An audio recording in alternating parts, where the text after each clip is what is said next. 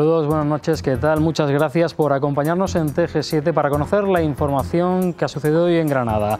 La Consejería de Fomento y Vivienda ha acordado con los ayuntamientos granadinos de Albolote, Maracena y Armilla flexibilizar el calendario de pago de su participación en la inversión del metro, en la línea de lo acordado con anterioridad con el consistorio de la capital granadina. Además, hoy ha anunciado que el concurso del servicio de operación se adjudicará en julio, manteniendo para el final de año la entrada en servicio de esta infraestructura.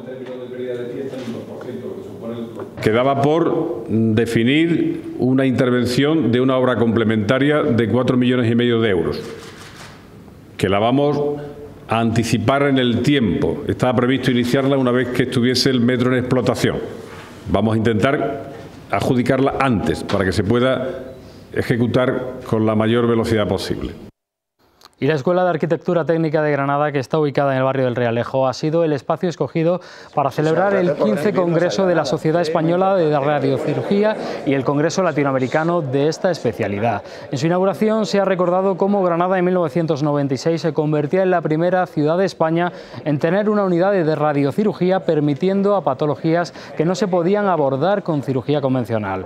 Veinte años después, instituciones y especialistas han felicitado a esta unidad que refuerza la marca Granada Salud. Una técnica radioterápica, pero que se hace con precisión quirúrgica y permite tratar pues, muchas patologías, no solo tumores malignos, sino también tumores benignos, malformaciones vasculares e incluso trastornos funcionales, por ejemplo, el trastorno obsesivo compulsivo, la depresión, se pueden tratar con radiocirugía. Se celebra el 20 aniversario de la puesta en marcha del servicio de radiocirugía aquí en Granada y es un servicio que además es referente en España. Granada vuelve a señalar, a subrayar ese concepto fundamental de Granada Salud, en el cual ya no solo una cuestión que demuestra que esta ciudad no solo una cuestión, una ciudad eh, turística, del comercio, de la hostelería, es que además hay una masa crítica, un ámbito de investigación, un ámbito productivo vinculado a algo tan fundamental como es la salud y la investigación. Y cambiamos de asunto. Las trabajadoras del hogar continúan con su lucha para que se les reconozcan sus derechos. Por ello, esta mañana se han concentrado en la Plaza del Carmen, reivindicando cobertura por desempleo y un sistema de inspección que controle y acabe con los abusos laborales. Una propuesta a la que se han unido sindicatos, el defensor del ciudadano, representantes políticos, así como el alcalde de Granada, Francisco Cuenca. En su encuentro con este colectivo, Cuenca ha anunciado el impulso de una declaración institucional en apoyo a las trabajadoras del hogar que se llevará al Pleno de junio para exigir al Gobierno central la regulación de sus derechos laborales. Ya es hora que el gobierno español ratifique el, artículo 189 de la OIT, donde se pone una serie de condiciones importantes y necesarias para un trabajo decente a la trabajadora del hogar. No tiene derecho a desempleo, la inspección de trabajo no actúa, se les contrata por tres horas y se tiene trabajando diez. Se producen y lamentablemente se producen abusos en cuanto a sus propios derechos y lo único que están pidiendo es que el Estado mire esta situación, atienda a esta situación y dé cobertura a unas trabajadoras unas trabajadoras de servicio doméstico, como se conoce, trabajadoras en el hogar que tienen todo el derecho a tener su regularización y su atención a derechos laborales. Y desde hace cuatro años el Ayuntamiento de la capital celebra el acto de reconocimiento al alumnado donde se premia el esfuerzo, la capacidad de superación y el espíritu solidario de los alumnos de primaria y secundaria. Una convocatoria del área de Derechos Sociales, Educación y Accesibilidad en la que han participado 82 alumnos de 32 centros educativos públicos y concertados de la capital. En el acto se ha entregado una beca para material educativo, así como invitaciones para el Auditorio Manuel de Falla y las instalaciones deportivas municipales. 20 chicos que destacan por su carácter luchador y su dedicación a pesar de las circunstancias personales. Muy contenta, muy orgullosa. Cuando mi madre se siente triste o, sin fuerza, pues yo la intento ayudar para que se encuentre con más ánimo. Detrás de todo ello hay historias tremendas de, superación, de lucha, de trabajo, de apoyar, ya lo hemos visto, apoyan a sus padres y a veces asumen incluso un rol de, casi de persona mayor con esa responsabilidad que supone y, y a pesar de todo ello y todas las dificultades no abandonan sus estudios, siguen adelante y tienen expedientes excepcionales de sobresaliente. Y vamos a hablarles ahora de un complemento muy necesario en esta época del año y que como todo sufre las tendencias de moda. Se trata de las gafas de sol. Estas nos protegen de la radiación ultravioleta, pero ¿sabían que dependiendo de sus lentes, unas son recomendadas para realizar la conducción nocturna, practicar determinados deportes o para aquellos que tienen problemas en la visión? A la hora de adquirir unas gafas de sol hay que tener en cuenta, además del diseño, muchos factores como la luminosidad, radiación ultravioleta, el color de las lentes. Trabajamos tres tipos de, lentes. Está la lente básica, una lente de muy buena calidad. Luego está la lente polarizada, ¿vale? que ahí también puede ser con tratamiento antirreflejante no. Y hay una lente del laboratorio de Indo, que es una lente que se llama SAMMAP, que es una lente específica para gente de altas prestaciones cuando necesita una protección solar. Los cristales amarillos o naranjas mejoran la calidad de la visión en las distancias largas, por lo que son aconsejables para la conducción nocturna. Y luego, en cuanto a las lentes, si os fijáis, de todo. Está, se lleva muchísimo lo que son los espejos, el espejo azul, el espejo dorado, el espejo morado. y luego hablamos muchísimo de lentes de diseño, muchísimo la gafa de impacta, ¿vale? La gafa metálica con, con espejo. Si os fijáis, muchísimo diseño. Esto es lo nuevo de Dolce Gabbana y esto es Michael Kors y todo va mmm, diseño con espejo. Esta lente siempre máxima protección.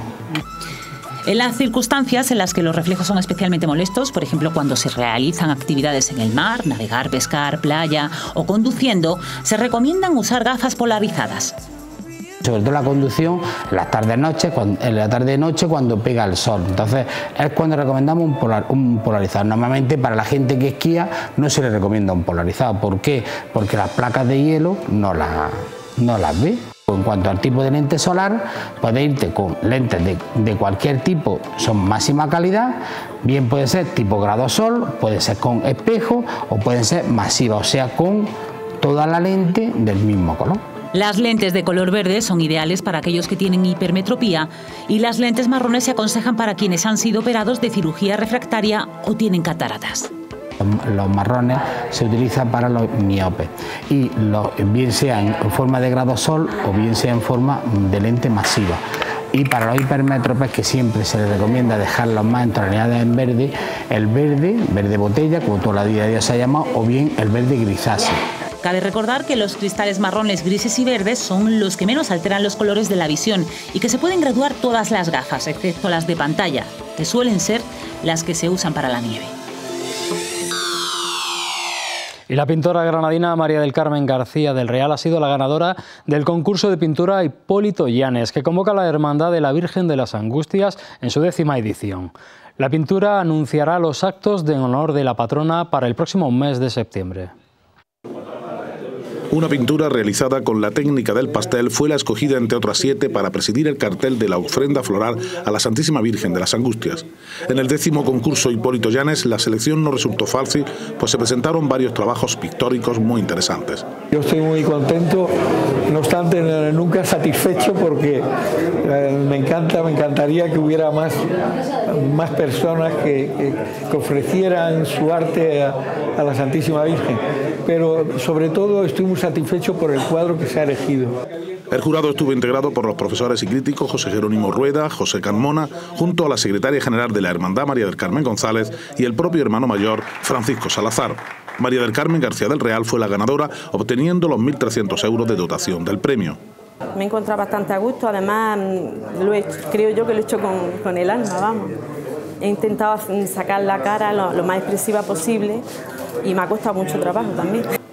El hermano mayor agradeció a todos los participantes en el concurso su colaboración y manifestó que para el año próximo este mismo alcanzará su décima primera edición y tendrá carácter nacional.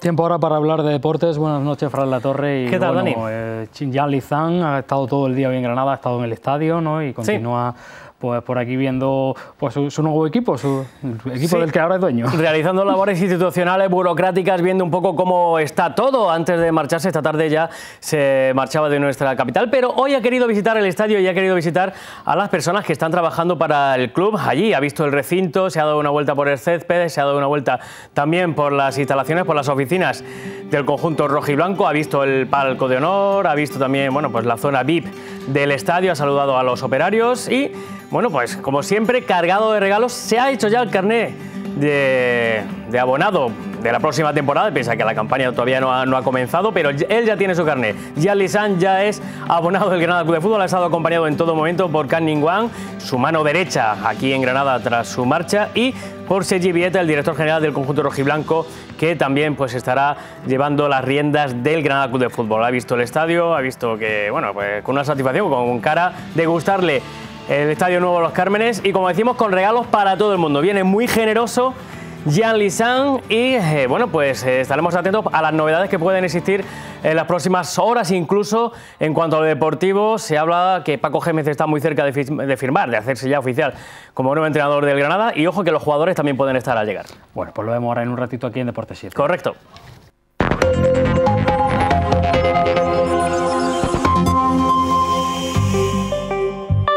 Tiempo parecido al de hoy, mañana viernes en Granada.